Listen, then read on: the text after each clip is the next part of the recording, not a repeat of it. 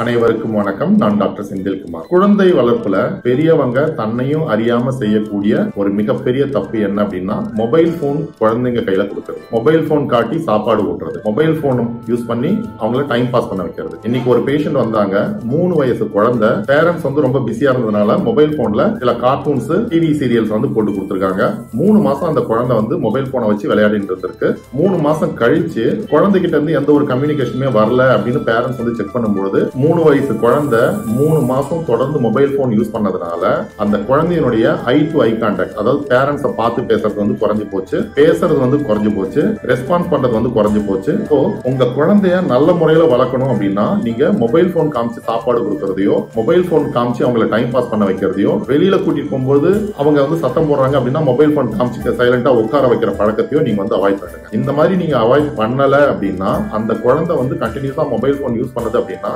குழந்தையினுடைய eye to eye contact with others வந்து குறைஞ்சு போக வாய்ப்புகள் உண்டு. நிறைய குழந்தைங்க வந்து பேரண்ட்ஸ்கிட்ட பேசாம டிவி ஸ்கிரீனையோ மொபைல்ஸ் வந்து பார்த்துட்டு இருப்பாங்க.